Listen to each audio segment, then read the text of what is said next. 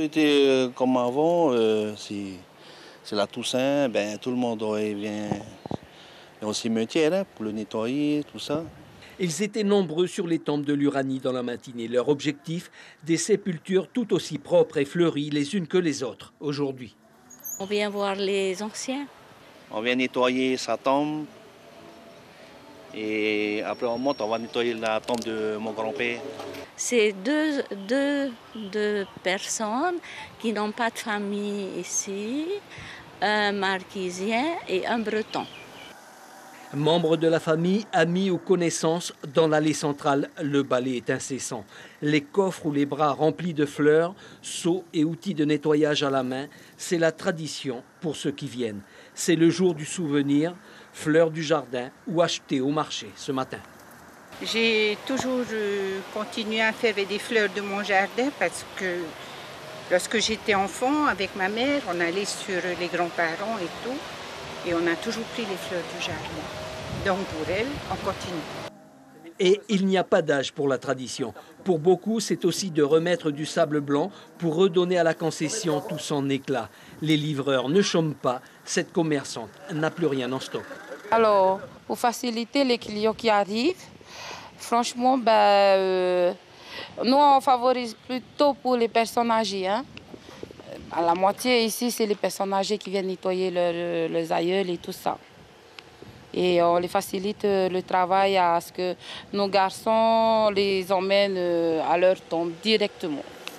Les derniers coups de peinture, les dernières mises en place pour que les tombes de ces chers disparus soient prêtes pour le Touramara. Des fleurs avec beaucoup de couleurs, également de la lumière actuellement au cimetière d'Uranie à Papété. On va retrouver notre consoeur Lucille Guichet avec une famille qui est venue honorer les siens. Des jeunes gens sont avec vous, Lucille, bonsoir.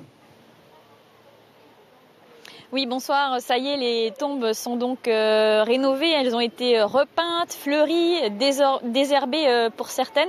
Place maintenant euh, au recueillement en famille. C'est le Turamara, donc la veillée qui précède la fête des morts du 2 novembre, à la lueur des bougies. Et ici, au cimetière de l'Uranie, à Papété, des centaines de familles se sont retrouvées, comme dans tous les cimetières catholiques de Polynésie. Vous le voyez derrière nous, la lueur des bougies forme comme un petit halo lumineux et les chants et les prières émaille cette soirée euh, de recueillement et d'hommage. Nous sommes donc ce soir avec euh, Marouya Mafray et ses cousines qui sont venues euh, en famille rendre hommage à leurs défunts dans le caveau familial. Marouya, bonsoir. Que représente pour vous le Touramara? Alors, pour nous, le Tourama, déjà, c'est une sorte de cérémonie annuelle qui, chaque année, nous permet de nous retrouver pour déposer des fleurs et quelques bougies pour nos défunts.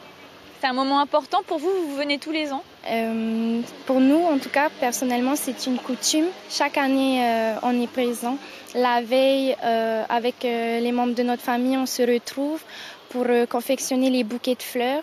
Et c'est un moment fort en émotion car on se rappelle les souvenirs avec euh, ceux qui sont partis, euh, quelques anecdotes et voilà. Mais c'est aussi un moment de joie car ceux qui sont encore là, on, est tous ensemble. Alors pourquoi, pourquoi est-ce que les bougies euh, perdurent et il n'y a pas de lampe à LED ou à pile d'après vous? Pourquoi est-ce que les bougies tiennent dans le temps? Le Tourama est une cérémonie sacrée et dans la prière, euh, quand on fait une prière, en fait, ben, on allume des bougies. C'est assez symbolique. Euh, on n'allume pas des lumières, euh, on ne vient pas avec des, torches. C'est des bougies. Est-ce que demain, c'est la, fête des morts, hein, le, 2 novembre Est-ce que demain, vous, vous, reviendrez ou est-ce que vous avez prévu encore des choses ce week-end en famille? Je pense que pour certains membres de la famille, euh, il y en a certains qui reviendront peut-être pour euh, arroser les bouquets qui sont là, mais euh, il y a d'autres aussi tombes que qu'on n'a pas eu l'occasion de pouvoir aller aller fleurir car c'est assez loin. Donc je pense qu'on se concentrera plutôt sur ces, tombes-là demain. Donc le moment de, de recueillement en famille n'est pas terminé alors? Non, ce n'est pas terminé jusqu'à dimanche. Merci beaucoup euh, Marouya. Nous étions donc euh, en direct euh, de l'Uranie où la cérémonie, la veillée du Turamara va se poursuivre jusque tard dans la soirée comme dans tous les cimetières catholiques de Polynésie. Merci Lucille pour ce joli témoignage plein de symbolique autour de la lumière direction les Australes. Rimatara, la Toussaint est aussi un jour attendu par l'ensemble de la population, une manière d'honorer là-bas les rois et les reines du passé. Une part de patrimoine évidemment avec des sépultures, mais pas que. Des croyances continuent à demeurer. Elles sont un héritage culturel bien vivant. Les images sont signées Patita Sabea pour Au cœur du Fénois. C'est parti. Ce sont des histoires de famille dont seules les lignées royales ont le secret. Des nombres à leurs noms accolés, cette part de sang bleu qui fait forcément l'histoire des lieux. Bienvenue devant le tombeau des rois de Rimatara. Quatre rois sont là. Hein? Le deuxième, le troisième, le cinquième, le quatrième et le cinquième. Il y a des reines aussi, il y a des femmes. Le quatrième, Ari c'est une femme. Des reines, quelque part le témoignage de l'avant-garde d'une égalité homme-femme. Mais dans cette famille royale, tout le monde ne regarde pas l'éternel du même endroit. Privilège peut-être du père de famille, nous voici dans la montagne, une sépulture modeste, quelques pierres dressées.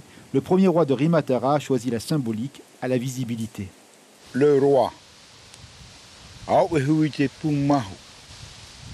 il vaut mieux le enterrer ici. Parce que ici, c'est le milieu, euh, le centre. C'est pour ça qu'il a dit il faut l'envoyer ici. Et non pas au bord de la mer.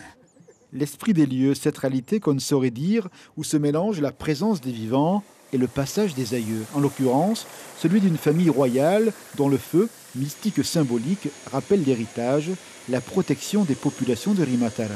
Pas un hasard, la plante rara fait face au tombeau royal. Sa fumée à chaque arrivée protège l'île des maladies importées, une décision royale qui survit en République. Cette fumée a été euh, mise en place à l'époque de la, de la dernière reine. Cette reine, c'est la reine euh, Tamayavassin, Heimataura, qui est mon arrière-arrière-grand-mère. Et ça nous protège vraiment de, de, toutes sortes de maladies. Cette vénération continue au-delà des ans et pas seulement le 1er novembre. Le tombeau des reines et des rois regarde la mer. Auprès de plus modestes sépultures, la mort efface les barrières sociales devant Dieu.